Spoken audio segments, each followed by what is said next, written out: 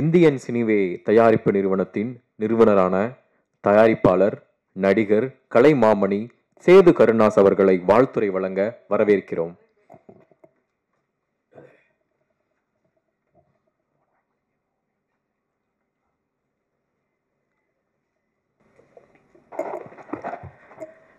எல்லாருக்கும் வணக்கம்.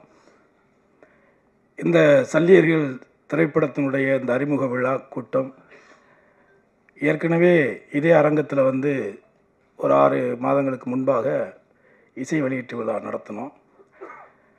அதை கடந்து ஒரு படத்துக்கு அடுத்து இன்னொரு நிகழ்ச்சி இசை நிகழ்ச்சி ம- அந்த ஒரு ட்ரெய்லர் மறுபடி ஒரு காட்சி பிரத்யேகமாக ஏற்பாடு பண்ணதுக்கு ஒரே அடிப்படை காரணம் அண்ணன் சீமான் அவர்களை வைத்து இந்த படத்துக்கு ஒரு அறிமுக கூட்டம் நடத்தணும் அப்படிங்கிற என்னுடைய முழு விருப்பம். இதில் எந்த மாற்று கருத்தும் கிடையாது. நான் ரொம்ப வருஷமாக சினிமாவில் இருக்கேன் உங்களுக்கு தெரியும். அண்ணன் கூட நிறையா ஒர்க் பண்ணியிருக்கேன் பழகியிருக்கேன் ஒன்றா இருந்திருக்கேன். அதையெல்லாம் கடந்து இன்றைக்கி வந்து நம்ம திரையுலகத்தை சார்ந்த நடிகர் போண்டாமணி அவர்கள் மறைஞ்சிட்டார்.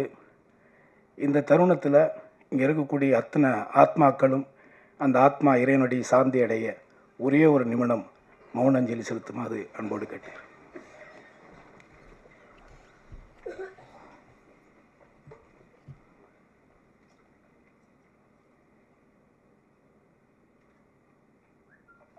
நன்றி. இந்த விழாவினுடைய அழைப்பை ஏற்று இங்கே வந்திருக்கக்கூடிய இந்த படைப்பினுடைய முதல் இந்த படத்தை நான் எடுக்கணும் அப்படிங்கிறதுக்கு எனக்கு முதல்ல கிட்டு அவர்கள் கூட்டிகிட்டு வந்தது அண்ணன் ராவணன் அவர்கள். இவர் வந்து பரமக்குடியில் இருக்கார். ரொம்ப ச- சரா சராசரியான ஒரு சாதாரண ஒரு ஒருத்தர் தான். பெரிய வசதி வாய்ப்புகள்லாம் கிடையாது. ஆனால் இந்த படம் எடுப்பதற்காக முதல் முன்படமாக பத்தா பத்து லட்சம் ரூபாயை முதன் முறையாக கொடுத்து இதை துவக்கி வைத்தது இவர் தான் ஸோ இப்படி ஒரு சாதாரண ஒரு கிராமத்தில் இருக்கிற ஒருத்தருக்கு இவ்வளோ உணர்வு இருக்கும் பொழுது சினிமாவுக்குள்ள இருக்கிறோம் இந்த மொழியை வச்சு தான் இந்த இனத்தை வச்சு தான் நம்மளாம் இன்றைக்கி வாழ்ந்துக்கிட்டே இருக்கோம். அப்போ நம்ம ஏன் செய்யக்கூடாதுங்கிற அந்த ஒரு வெறி எனக்கு வந்தது அண்ணனை பார்த்து தான் அதற்கு அடுத்ததாக இவருடைய நண்பர் சிகாமணி நேசமணி அண்ணன். நேசமணி அண்ணன் அவர் வெளிநாட்டில் இருக்கார். ஸோ அதற்கு அடுத்ததாக எனது தம்பி கரிகாலன். அவருடைய மனைவி தான் என்னுடைய தங்கச்சி தான் அது. ஸோ அவன் தான் வந்து நீங்கள் பண்ணுங்க. நீங்கள் நமக்குன்னு ஒரு இந்த மாதிரியான படைப்புகளை தமிழர்களுடைய மறைக்கப்பட்ட வரலாறுகளை வரக்கூடிய கால சந்ததிகளுக்கு எடுத்து சொல்லக்கூடிய ஒரு காரியத்தை நீங்கள் செய்யுங்க. அதுக்கு உங்களுக்கு நான் கூட இருக்கிறேன் அப்படிங்கிற ஒரு உத்வேகத்தை கொடுத்து இந்த நிமிடம் வரை எனக்கு உறுதுணையாக இருக்கக்கூடிய எனது தம்பி கரிகாலனுக்கு இந்த நேரத்தில் நன்றியை தெரிவிச்சுக்கிறேன். அது போல் இங்கே வந்திருக்கக்கூடிய எனது தம்பிகள் தாமோதரன் கோகுல் அதுக்கப்புறம் இயக்குனர் பொன்ராம் அவர்கள் அப்புறம் எனது நண்பர் இயக்குனர் கௌதம் அவர்கள் என்னுடைய அழைப்பின் பேரில் இங்கே வந்து கலந்துக்கிட்டதுக்கு என்னுடைய நன்றி. அடுத்து என்னுடைய தம்பி தெலுங்குக்காரன் நம்ம சிவா. அவன் வந்து ஒரு படம் பண்ணியிருக்கிறான். அந்த படத்தில் பெரிய நல்ல கேரக்டர் நான் நடிச்சிருக்கிறேன். அது பிப்ரவரி மாதத்தை அதையும் வெளியிட போகிறோம் அதுவும் ஐசிடபிள்யூ தான் ரிலீஸ் பண்ணோம் அடுத்து எனது நீண்டகால நண்பரும் எனது அருமை அண்ணனுமான தேனப்பன் அவர்கள் அதுக்கப்புறம் நடிகர்கள் ரெண்டு பேரும் மகேந்திரன் தம்பி ரெண்டு பேருமே நல்லா இதில் குறிப்பாக ரொம்ப நல்லா நடிச்சிருக்கிறாங்க. நீங்கள் படம் பாருங்கள் அடுத்து என்னுடைய அழைப்பை ஏற்று வந்து முதலாக தன்னுடைய வாழ்த்துறையை வழங்கி சென்றக்கூடிய எனது அப்பா தானு அவர்களுக்கு இந்த நேரத்தில் என்னுடைய நன்றி. அதே மாதிரி இந்த கதையை வந்து நம்ம பண்ணணும் அப்படிங்கிறது மேதகு படம் பார்த்து தான் எனக்கு அந்த உணர்வு வந்துச்சு. அவர் சொன்னதை சரியாக பண்ணியிருந்தார். ஸோ அவர் அவர் என்ன கேட்டாரோ அதை நான் வந்து சிறப்பாக நான் ஒரு தயாரிப்பாளராக அவர் செஞ்சு கொடுத்துருக்கேன். அவரும் நேர்மையாக உண்மையாக இந்த படத்துக்கு உழைச்சிருக்காரு ஒர்க் பண்ணியிருக்காரு அதில் இந்த படத்தில் நடிச்சிருக்கிற நடிகர்கள் எல்லாருமே அந்த கதாபாத்திர தேர்வெல்லாம் ரொம்ப அற்புதமாக பண்ணியிருக்காரு இயக்குனர். நீங்கள் நிச்சயமாக உங்களுக்கு ஒரு பிரத்யேகமான காட்சி நம்ம போட்டு காட்டுவோம். பிப்ரவரி மாதம் இந்த படத்தை நம்ம வந்து வெளிக்கொண்டு வர்றோம்.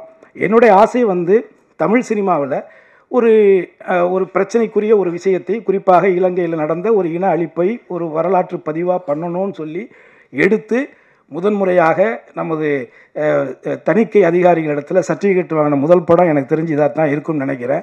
இதை எடுத்ததுக்கு காரணம் என்ன? அதை எடுத்ததுக்கு காரணம் என்னென்னா இதை உண்மையே நான் ஒன்று சொல்லணும். என்னுடைய மகன் தான் இந்த படத்துக்கு மியூசிக் பண்ணான். ஆனால் என் பையன் என்கிட்ட கேட்ட கேள்வி என்ன தெரியுமா? இவ்வளோ ட்ரையாக இவ்வளோ சீரியஸாக இவ்வளோ ஒரு மாதிரியான ஒரு படத்தை எதுக்கு டேடி நீங்கள் கஷ்டப்படுற நேரத்தில் காசு செலவு பண்ணி எடுக்கிறீங்க அப்படின்னு என்கிட்ட கேட்டான்.